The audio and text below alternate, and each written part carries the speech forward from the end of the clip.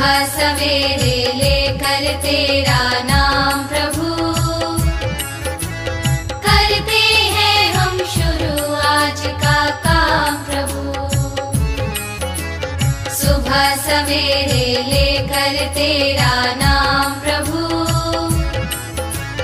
करते हैं हम शुरू आज का काम प्रभु। हम लोगों ने पहले भी कहा था, अगर नगर पालिका चाहती तो पूरा साफ़ हो- कर देती है और करती भी है।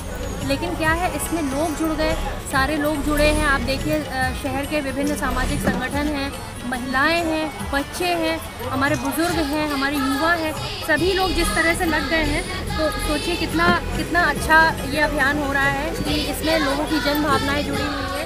तो लोगों की जन जन भावनाएँ जुड़ गई हैं तो निश्चित ये साफ़ होगा और साफ़ होगा इसके बाद साफ़ ही रहेगा। घाट निर्माण करेंगे और इसके साथ ही इसमें वाटर ट्रीटमेंट प्लांट लगाना बहुत ज़रूरी है, क्योंकि यहाँ पर जो लोगों, हमने लोगों से पहले ही कहा था, बहुत अच्छे से करबद्ध प्रार्थना भी की थी कि लोग जो है अपने नालियों का पानी, जो अपने घर का गंदा पानी है, वो इस तालाब की तरफ़ ना छोड़े, वो खुद ही ठीक करा लें। लेकिन अगर इसको भी लोग समझ जाएँगे, जैसे अभी जागरूकता आती जा रही है तो मुझे लगता है कि बहुत अच्छा रहेगा ये तालाब के लिए, क्योंकि ये हमारे वाकई में सोर्सेज हैं, बहुत बड़ा सोर्सेज है पानी के लिए, हमारी भविष्य की पीढ़ी के लिए। तो मैं यही कहना चाहूँगी और साथ ही साथ आगे भी जो भी होगा वाटर ट्रीटमेंट प्लांट वगैरह और भी जो भी एक तालाब को बचाने के लिए, सौंदर्यीकरण के लिए जो भी होगा वो हम पूरा करेंगे। यहाँ पर गायत्री परिवार के अंतर्गत विंध्यवासिनी महिला मंडल से आई हूँ और निर्मल गंग गायत्री सरोवर बनाने के लिए जो मुहिम चली है, उसमें भागीदारी निभाने की हम सभी बहनों की एक श्रेष्ठ इच्छा है और हम ऐसे ही वातावरण और पर्यावरण शुद्धि के कार्य में हम सभी संलग्न रहें। ये कार्यक्रम इतना अच्छा होता जा रहा है। अगर ये खूबसूरती उसमें तालाबों का सब पूरा हो जाएगा तो सबसे ज़्यादा आकर्षक केंद्र छतरपुर में ही रहेगा गायत्री सरोवर। गायत्री ग्रुप की तरफ़ से आज ये सब सभी एकत्रित हुए स्वच्छता अभियान चलाने के लिए हमारा शहर स्वच्छ रहे। बहुत ही अच्छा सराहनीय काम है। और चूँकि पुराने समय में राजा महाराजे सब साफ़ सफ़ाई और तालाब खुदवाया करते थे। और मैं मानती हूँ कि माता के सामने ये तालाब है और क्योंकि ये तालाब बड़ा गंदा है, माता को भी बड़ा कष्ट होता रहा होगा। रात सुबह के टाइम बताते हैं कि देवते देवी देवता इसमें स्नान भी करते हैं।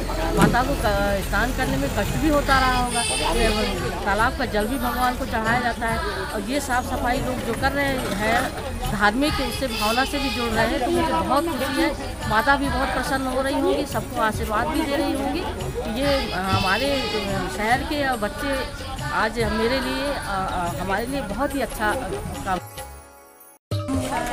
इससे मुझे बहुत खुशी हो रही है और मैं तो अपने लिए बस कह रही हूँ कि यदि हर व्यक्ति अपनी रिस्पॉन्सिबिलिटी समझे तो बहुत बड़ी से बड़ी प्रॉब्लम सॉल्व हो जाती हैं। इसी तारतम्य में आज हमारे गायत्री परिवार, नगर पालिका और भी बहुत सारे संगठनों ने मिलकर ये कोशिश की है। लेकिन सिर्फ़ आज की बात नहीं, यदि हम हर दिन ये देख लें कि गंदगी फैलाना सिर्फ़ हमारा मतलब हमारी भी रिस्पॉन्सिबिलिटी कि हम गंदगी ना फैलाएँ तो मुझे लगता है ये समस्या और रामानंद समिति और ये अपना पत्रकार ग्रुप द्वारा जो ये कार्य किया जा रहा है, ये बहुत अच्छी पहल है।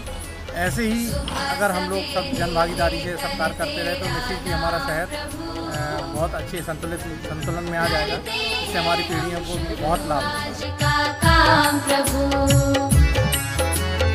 करते हैं हम शुरू आज का